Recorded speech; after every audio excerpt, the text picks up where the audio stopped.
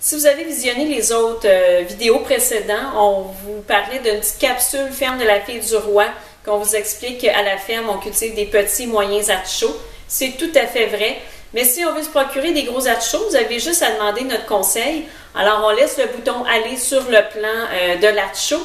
Et puis, avant son ouverture, quand le foin est encore emprisonné à l'intérieur du cœur de l'artichaut, à ce moment-là, on appelle ça des gros artichauts. C'est sûr qu'ils ne sont pas aussi gros des ceux qu'on retrouve à l'épicerie ou les de Léon qu'on retrouve en Bretagne, mais quand même, ça fait euh, le travail qu'il faut pour cette technique-là. Alors, pour faire les cœurs d'artichaut, alors on vient couper, vraiment, on enlève complètement la tige de l'artichaut.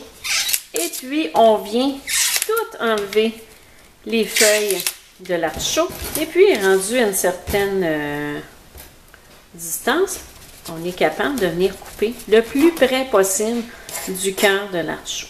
Alors, on vient vraiment faire le tour de notre cœur d'artichaut.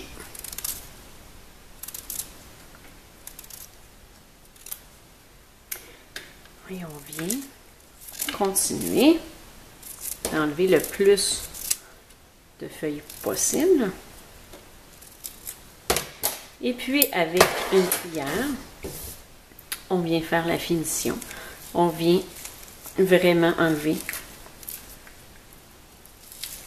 le foin qu'on retrouve. Alors, comme les autres techniques, alors on s'assure vraiment de plus avoir de verre, ce qui est assez coriace. Alors, on s'assure de venir citronner nos parties. Ou sinon, de le mettre dans notre eau qui est citronnée. À partir d'ici, ben, on utilise la méthode conventionnelle à la marguerite au micro-ondes. On utilise le même temps requis pour le barbecue. Micro-ondes 3-4 minutes.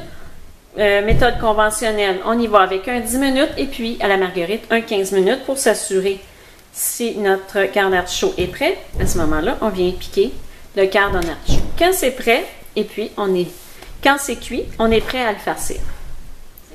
Alors, dans la première, ce qu'on va venir déposer au fond, c'est vraiment une petite bruschetta qu'on s'est préparé d'avance. Et puis, tout simplement, on va servir notre fond d'artichaut avec la bruschetta. Alors, dans la bruschetta, moi, je suis allée vraiment avec des tomates, fines herbes, un peu d'huile, sel, poivre. Par contre, on peut, dans notre bruschetta, rajouter euh, de l'ail, des oignons hachés finement. On peut rajouter des, cubes de feta. On peut rajouter des, du, couper du basilic frais qu'on peut intégrer euh, tout ça dans notre bruschetta. Pour la deuxième, ce que je vous suggère de faire, c'est vraiment d'aller chercher une petite rondelle de fromage de chèvre. Alors, on met notre fromage au centre. Et puis, on garnit le tout avec des belles petites tranches de tomates confites. On vient parsemer un peu de poivre. On met le tout au four 5 minutes pour vraiment s'assurer que notre fromage et notre tomate confite soient quand même chaudes.